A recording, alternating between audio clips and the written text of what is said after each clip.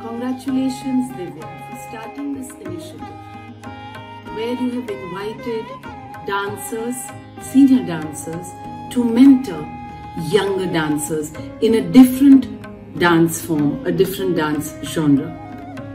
I cannot tell you how important this is and uh, how much I have learned from such cross mentorships. It's not only about being under a senior artist and listening and seeing their perspective and their and absorbing and exploring through their eyes.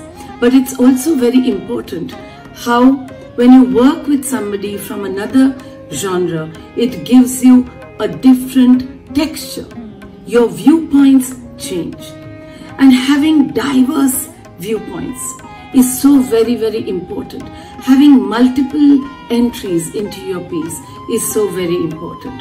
That's why I've named my institute Drishtikon, which means viewpoint. So congratulations and I look forward to seeing the work and being a part of the viewership of these wonderful new pieces that are going to come out.